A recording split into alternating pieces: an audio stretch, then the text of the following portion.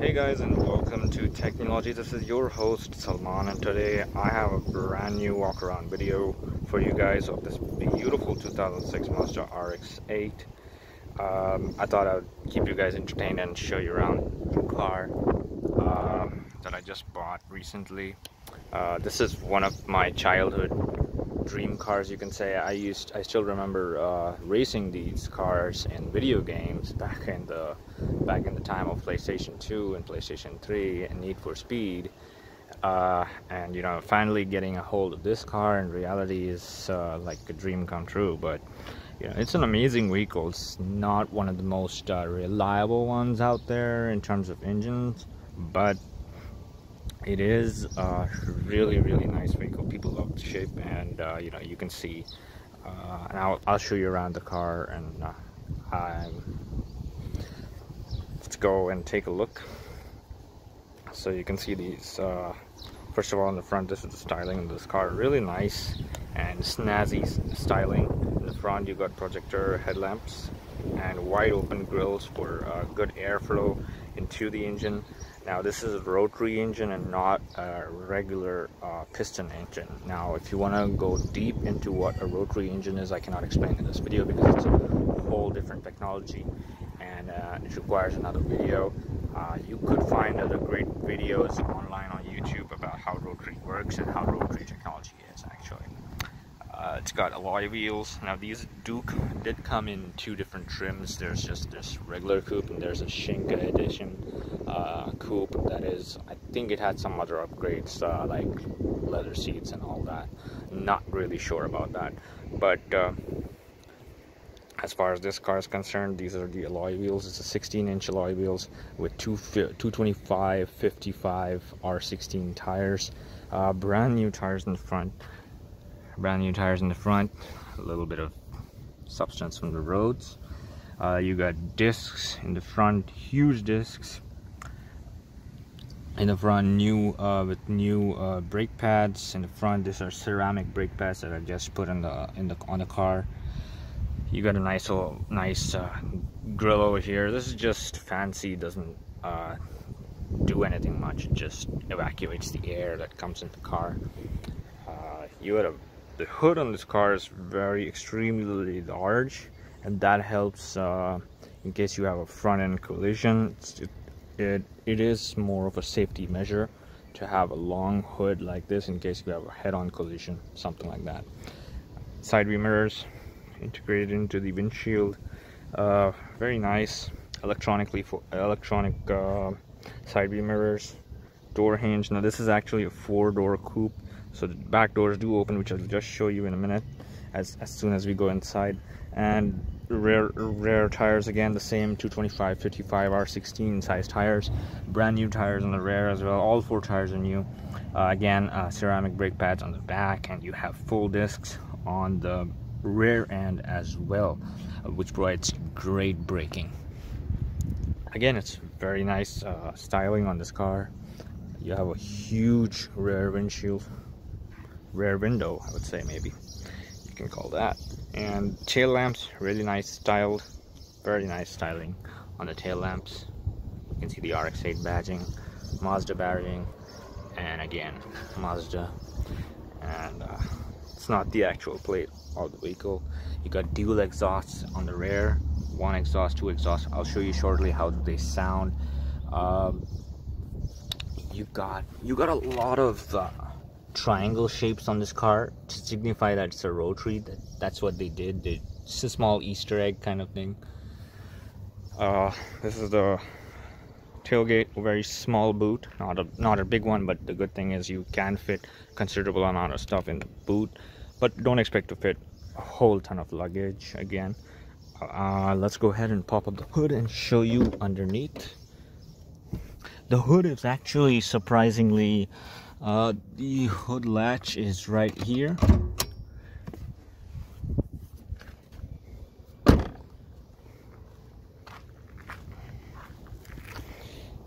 And you open the hood from here. The hood is actually really light because this is actually made of aluminum. The hood is made of aluminum. And the rear doors are also made of aluminum rest of it is just steel. So this is the this is how the engine bay looks. It is a 1.3 liter twin rotary engine that produces uh, 287 horsepower at 8500 rpm i think that's uh, what i remember and uh, 159 newton meters of torque at uh, I believe it's 5500 RPM. I mean, you can always look up the specifications if I'm wrong. But that's uh, some of the power figures. It's a twin rotary. It's not a piston engine. Uh, there is a cover on the front that's missing. It goes over the engine over here. There's a cover on the front that's actually missing. I don't have that, but you know, this is the bat. The battery goes under this cover over here. This is the air box, fuse box, and uh, you know all that good stuff. I just wanted to show you how it looks under the hood it's a really really nice uh, car. And of course the reason why people uh, some people don't like this car is because it requires a lot of maintenance. Uh, you do have to fill oil regularly because it actually consumes the oil that you put inside the engine. Um, and it actually burns that oil so you need to keep on uh, refilling the oil in the engine and you know uh, and these cars do require rebuilds if you don't maintain them well. So they require rebuilds of around 100,000 miles.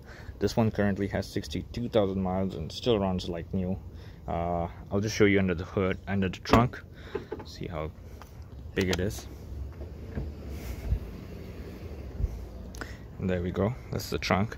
I have two rims in it but it's not it's not really big. It does not come with a spare tire. It just comes with a tire repair kit. These never came with spare tires. Only a tire repair kit. It comes with a uh, it comes with a pump and a tire repair kit solution so you can uh, fit uh, so you can fix the tire in case you get a flat tire. And uh, it's it's fairly decently sized. Uh, you can fit one big luggage bag in here but don't expect to fit a lot of stuff in here. It's not meant for transport of luggage now moving on the inside. This is how it looks generally. You got bucket seats in the front. Another rear door opens from this latch. You can pull it and you can see the rear door. I do have some stuff over here. Uh, just an old piece of rear view mirror from I had to replace the rear view mirror because it broke. Um, bucket has some really nice comfortable seats. These are actually great seats in the back. It's not like other coupes where you know even if an adult sits in the back you're probably going to be pretty much comfortable because these are full-size seats. You do have quite a bit of leg room. Even if you move this seat in the back you do still have quite a bit of leg room here. And uh, you know it's a very nice design. Only four people can sit. You cannot fit five people in here. You do have some uh, armrest over here very nice design.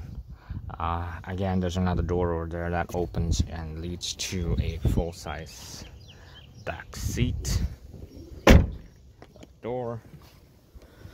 And getting on the inside. I just want to show you real quick.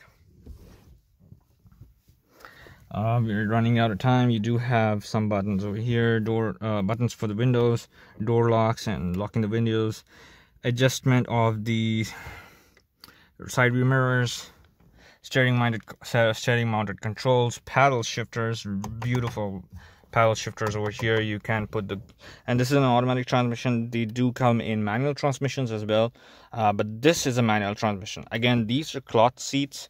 They do come with uh, um, some of the cars also came with leather seats. I'm not sure how that option worked. Uh, anyways this is the these are the seats. Very comfortable seats bucket seats. Nice uh bolstering on the nice bolstering on the sides. Provides good support when you're driving. You do have again armrest over here. This cup holder opens. I do have some stuff in there. And then you do have another uh ashtray and a cigarette lighter over here. Uh this is the gear again. Let me go ahead and show you how the key looks. It's getting a little too extended video is becoming long forgive me for that. This is the key. The key looks like this.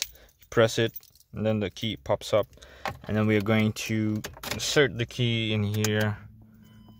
Go ahead and lights light up. We're gonna wait for five seconds before we start it now some of these cars do take a few seconds to start.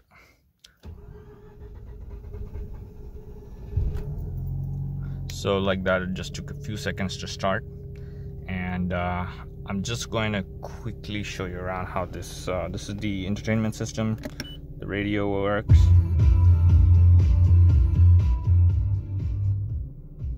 it's a really nice sounding radio you got AC controls, radio controls, nothing very much, nothing special. Some of these also did come with a navigation system that used to open up from here. Again, rear view mirror, interior lightings, and sun visors. I don't know why do they have a uh,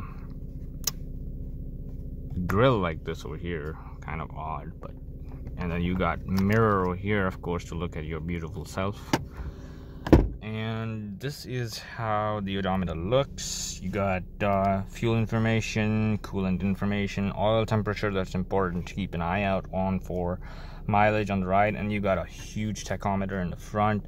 And this is this is how it revs. It's this engine is very rev friendly. Like you can rev it all day and it'll be happy. You got a glove box over here which is decently sized and has got instruction manuals here. The whole package of instruction manuals original instruction manual booklet with the Mazda logo. We're not going to look at that. Again power window options over there. The the good thing about this car that I like is that the rear windows do open up. Like you have that small lock over there. You can just um, open that and they open up partially. Not fully but they open up partially to allow some ventilation uh, through the car. And last but not least before ending the video I do want to show you how the exhaust sounds. So I'm gonna keep the phone on the back. And I'm gonna leave you guys here while I go up front and accelerate the car. Gonna adjust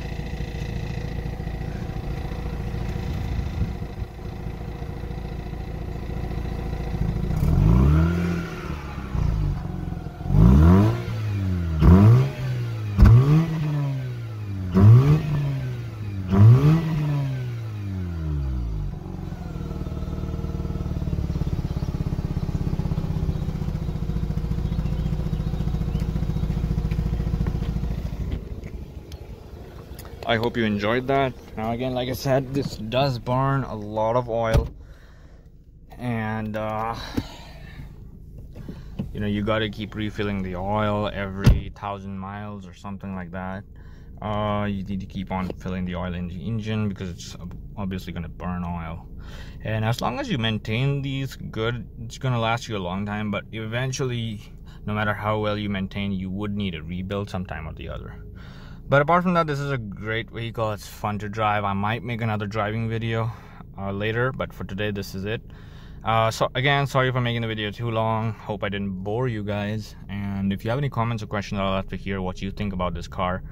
Um, so thank you for watching. See you next time on Technewlogy.